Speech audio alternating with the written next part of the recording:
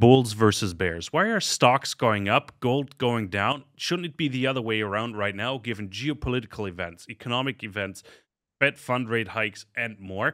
I invited Marc LoPresti of the BattleFin Group, he's a co founder over there, onto the program to shed some light on what is going on, to discuss some of the indicators the Fed is using. Where are markets going? Why are they going in that direction? And uh, I think Marc is a perfect commentator for that because uh, he's a mainstream media steady. Like you're you're constantly on Fox News and others. Thanks so much for your time, Marc. My pleasure. Thanks for coming on. Really appreciate it. And uh, Marc, what first time on on Soar financially here? Like, why don't you give us a quick 36 and run, 60 second rundown on who you are, and then uh, we'll talk about the markets. well, who, who I am is a, a slightly complicated question, so I'll give, try to give you the short version. Um, I've been on Wall Street for 27 years. I started out on the floor of the New York Stock Exchange working for Lehman Brothers. Did uh, went through Lehman's uh, program uh, for uh, a while. Uh, ultimately, wound up on the institutional equity sales and trading desk. Uh, left Lehman to go to law school. I practiced law in the investment space for almost 20 years. focused on hedge funds primarily, but also family offices, venture capital, alternative investments, sort of broadly speaking. About 10 or 11 years ago, I co founded uh, BattleFin Group, uh, where I serve as a member of the board of directors and chief market strategist. Um, I've been a market strategist uh, on uh, various uh, mainstream media shows for about 15 years CNBC, Fox Business, TD Ameritrade, and Progeny. Um, radio show on Sirius XM, various podcasts and things of that nature, where I talk about financial markets. And I left the practice of law about four, well, three years ago now um, to focus on a, a on BattleFin, of course, um, uh, on the market strategy side of things, and on a small multifamily office that I started about uh, four years ago. Um, so, uh, lawyer, investor, entrepreneur, um, and and lover of, of of markets is probably the, the simplest way Lover of markets. I didn't see that yeah. in your Twitter profile, so I think you should add that. I think that's fantastic. Um, Marc, you're often a commentator, as I mentioned, on like mainstream media as well. And mm-hmm. uh, what do they a what do they invite you for, and b like what kind of feedback are you giving them? Because I'm really want getting a sense of like what, what's this what's the out there right like yeah what, sure. Happening? Well, I mean. What, what I'm asked to cover depends on the show. Um, some shows are uh, individual stock specific, where I'm asked to sort of give my three bull calls or three bear calls for that particular day or that particular week. Um, other shows I cover sort of more of a global macro perspective. Some of the things you talked about at the top of the interview, what's happening with interest rates, employment, inflation, the possibility of a recession, geopolitical type of uh, influences. So it, it depends on the show. Um, and in terms of sentiment right now, the the one uh, simple way that I could sort of describe it um, is is volatility and a little bit of confusion, because as I think you also pointed out, we have um, some very interesting and in some instances historically confusing indicators. The bond market and the equity market's correlation, by way of example, is something we haven't seen in, in 20 some odd years based on most analyses. So um, it's definitely a hard or harder to make money in markets like this. But um, as I said, uh, just on a on uh, a radio show I do this uh, every Monday and Friday called Bulls, Bears, and Blockchain. It came out this morning at 8:30 a.m. before the markets open. Um, smart investors make money during periods of volatility. It's very hard to make money when the market's not trending in any particular direction. So when markets are moving and when volatility reigns supreme, as it is in these conditions, there is actually quite a lot of opportunity to capture some profits. What what kind of secular trend are we in right now? What would you say? Is this more of a bull market, more of a bear hmm. market? I'm I'm honestly quite confused because some of the stocks are going up and rallying. Seems like risk is off and everybody's running, jumping in again, liquidity returning. But then I look at the commodities, of course, and uh, we're just getting beaten to a pulp, right? So what when when you talk a main market, like what is driving market? What is driving volatility for you, and why are we in an uptrend? Well, so I think the trend is um, is leaning bullish. I think um, a lot of the data sets, and of course, you know, with BattleFin, um, data is everything that we do. Uh, you know, we were sort of early adopters of these concepts of alternative data sets um, things that uh, traditional investors, traditional market analysts, and watchers would would not look at, and we can get into what that means.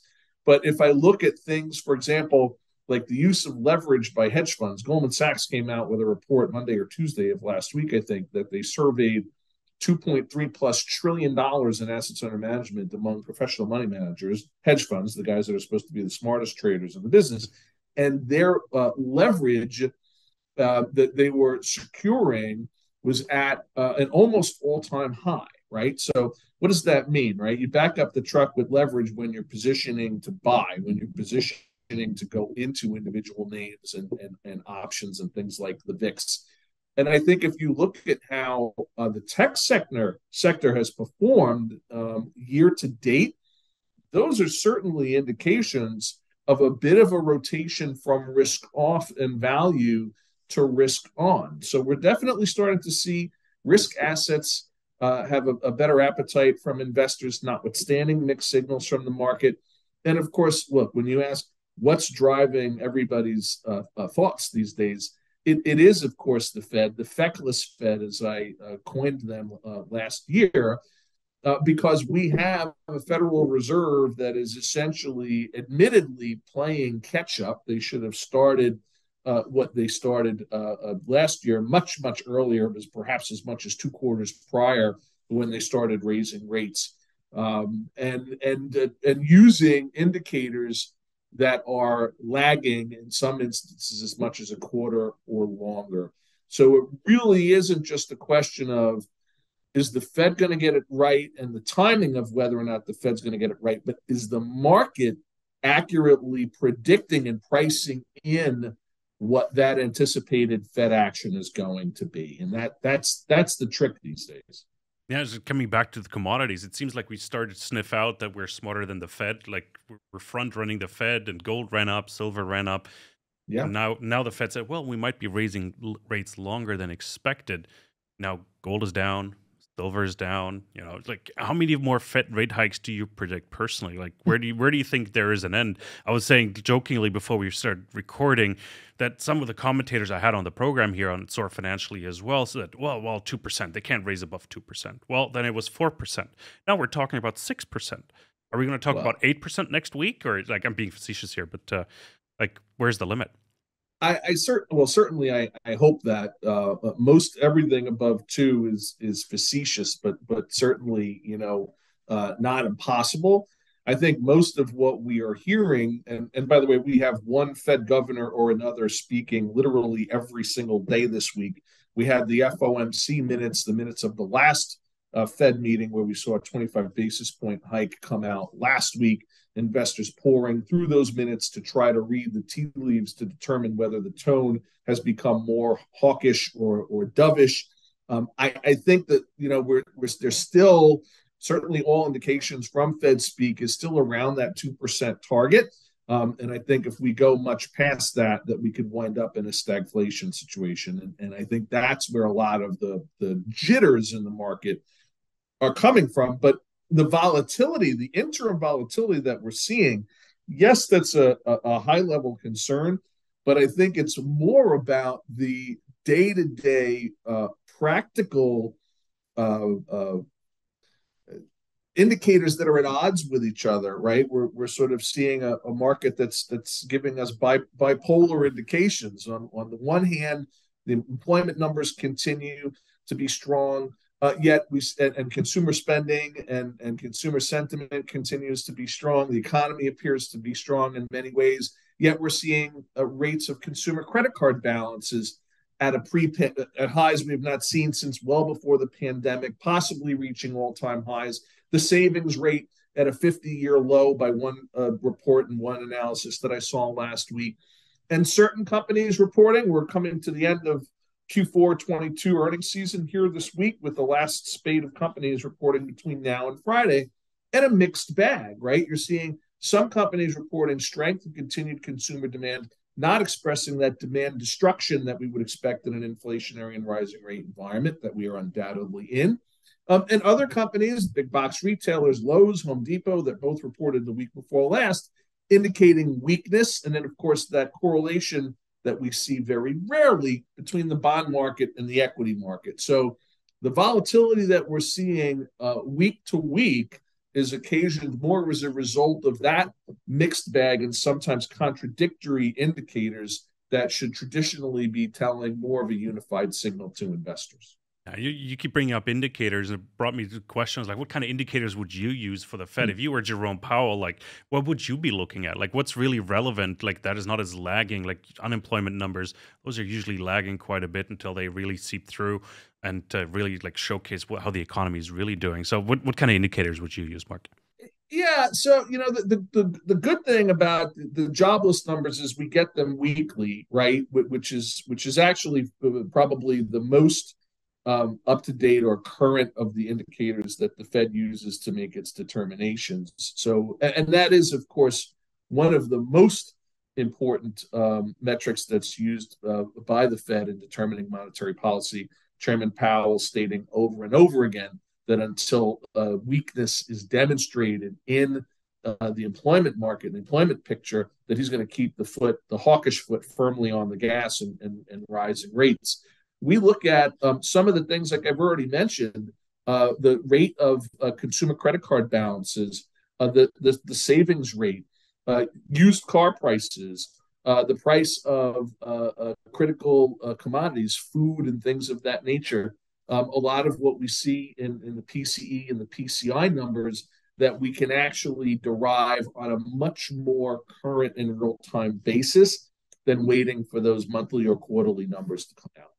No, no, that makes a lot of sense. And uh, you, you mentioned a lot of contradicting indicators. It's really tough to make sense of what is going on. Like housing prices, of course, are crashing. Like if you look at the housing side, I think all the indicators are pretty much down, um, but others are up. And even the uh, you you mentioned the unemployment rate. I think is the best example. All of a sudden, they're dropping. I think we're at three point four percent unemployment rate.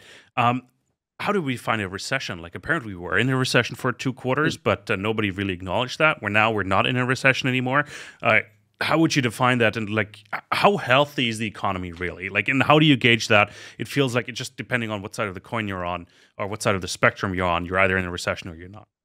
Yeah well it, it depends on your perspective right? And so look and this is one thing that does drive me a little bit crazy with this administration and this fed and not not to get political but but there is an element of that in all of this. And and that is to say we had a definition of what makes a recession which seemed to work for many decades, right? Until it didn't work to suit what the you know the narrative of of what is necessary to support what has been this inexcusably delayed Fed action, right? Which I was talking about before, which led me to give that uh, give Jerome Powell and this Fed that feckless Fed uh, uh, label or moniker. Um, so you know, I, I think at the end of the day, what you really need to uh, try to understand when looking at particularly individual names is sort of go back to the basics. We're talking about individual equities here. So, companies, yes, we're seeing more appetite for risk. We're seeing uh, investors, myself included, uh, picking up names that were were battered in 2022 that that performed really really well uh, in 2023 year to date. Companies like Tesla, companies like Nvidia, uh, even Microsoft, taking out the Chat GPT uh, nonsense. Um, so when we're looking at uh, how to deploy capital in individual names, we're looking at things like balance sheet strength, how much debt's on the balance sheet, how sensitive or is a company's performance going to be relative to what we know is going to be a rising rate environment, right? At, at least through that that two percent goal, which means at least through 2023. Um, and and those are the kind of things that we look at when we try to determine how to deploy our our own capital. Yeah. Can, can you describe your portfolio mix just a little bit as well? Like I saw U.S. Treasury bonds, the one years are at over five percent. Uh, are you throwing that in there at all? Because five percent is, you know, quite, high and something not to laugh at, right? It it, it, it is. Um, I, am I'm, I'm not I'm not a bond trader and and, and never was, so I'm sort of the, the wrong guy to ask when it comes to that kind of thing. Um, and I think that there are other types of products there that are uh, you know, more liquid uh, and can generate an even better yield than just buying uh, treasuries. Uh, so we would we would typically look at other things to to replicate uh, an enhanced uh, treasury return. There are there are ETFs by way of example that that um, are very good options. The the portfolio um, and we're talking about my personal portfolio and, and that of a, a, small portfolio that we run within the family office. We don't take outside capital. We don't run a hedge fund. Just from to be clear, got to put the lawyer hat on here for a second. Um, is it is it is somewhat um, tech heavy. We, we we tend to like uh, uh, tech companies. We like data driven companies. We look going back to what we do with BattleFin. We look for uh, a data strategy, a clearly defined data strategy in in, in companies that are within and outside of, of tech um, and how they're utilizing the data to make uh, better decisions uh, across the supply chain. Um, we're liking, uh, as I mentioned on my radio show this morning, um, companies that are involved in the auto parts uh, sector. We saw a great report last week out of O'Reilly Automotive. We have a couple of other names in the sector reporting this week as new car supply, because of supply chain and, and uh, issues and things of that nature, uh, remains high. Used car prices remain high. We had a blip last week that indicated that used car prices started coming down. Problem is, at the same time, wholesale used car prices indicated they continued rise, right? Which means the dealerships and the car dealers have to pay more at higher interest rates to buy those used vehicles to put them on the lot. So I think any uh, interim blip in in uh, to the downside in, in used car prices, unfortunately, is going to be very short lived. So people are going to have to continue to invest in the cars that we have. In fact, we saw last week uh, an all-time high of per, of uh, individuals purchasing their cars out of their lease programs. We have not seen this this number, this rate of, of drivers of buying their cars at the point of the of that option being uh, something within their lease. Um, again, because of supply and demand, because of the, the price of new cars, the price of used cars. Um, so we look at a lot of those indicators to try to determine the overall health of the economy and, and who the winners and losers are going to be as we are uh, looking through through a volatile period that it's expected to continue. Um, this week in particular, we're calling for quite a lot of volatility. The companies that will do well and, and, and those that will suffer in, in these types of conditions. Marc, allow me to sort of wrap up our conversation with the last question. Like sure. when you wake up in the morning, what's the first indicator you check? Uh, whether or not my espresso machine is functioning properly. So power. um, yeah, no, I uh, that's true. I, actually, um, um, I look, of course, I look at the I look at the futures, right? I, I, look at the I look at the bond market. I look at what happened overnight in Asia, in Europe. Um, I look at the uh, you know where natural gas is. I look at uh, oil prices. Um, not there's there's nothing uh, unique, I think, in terms of, of, of the of the morning routine. Um, I don't go to the alternative data crystal ball uh, to, to tell me what happened in the in the overnight. I definitely start um, with those same uh, sort of macro uh, type and, and market specific indicators that that most investors start with, and then you know once you start to develop a sense directionally, right, not only as to the, the equities markets, uh, options markets, fixed income markets, and commodities markets at, at, a, at a high level, then then you know you might start to drill down, right? Um, and if we're talking about adjusting a position in oil and gas, I might look at um, uh, fleet tanker data, right? Uh, we actually have data sets that indicate, you know, how uh, where these ships sit while they're floating around, indicating you know how much oil is really on board or how much you know natural gas is really on board in the transportation uh, side of things. Or or we might look take a snapshot to see uh, how dramatically, if at all, uh, the indicator as it relates to the consumer debt picture uh, looks like, because we we do actually have intra week uh, uh, some pretty significant changes um, in that in that picture um, and that can sort of help to inform. So, I mean, these are just some examples of of how we start with the macro stuff that's been tried and true for a long time, and then start to layer on the more specific alternative data. Gotcha. Is, is the S and P 500 going to close over 4,000 this week? if I, if I knew that, um, I, I, I actually look. Um, I actually do feel that this this will be a, a decent week for stocks. Volatile, without a doubt. Um, but but my gut tells me is that uh, we will end the week higher than we started. That's Fantastic. that's as much as I'm willing to tell you. all right, that's all good, perfect. I, I, I, like putting people on the spot and see just to see how they react, right? And uh, really appreciate it, Marc. Where can we find more of you? Uh, you can find me on uh, Twitter. Uh, most of the shows and things I do on mainstream media as well as our uh, podcasts, uh, our daily Rebels Edge show that I do with uh, Pete and Jon Najarian, my friends and business partners over at Market Rebellion. Most all of that can be found uh, through promotions that we do and click throughs on Twitter. So you can find me on Twitter at MXLESQ is the handle. That's the easiest. Fantastic. I'll put that in the description below as well. And Marc, really appreciate your time. It's great that we finally got to meet and catch up here. And uh, we'll have you back on soon and uh, probably see you in New Orleans in October as well. You definitely so. will. I'm looking forward to that. Fantastic. Marc, thank you so much. Everybody else, thank you so much for tuning in. This was Soar Financial. We hope you enjoyed the episode with Marc LoPresti. Go check him out on Twitter and uh, BattleFin as well. Some really interesting data they're providing and uh, appreciate your time. Thanks so much.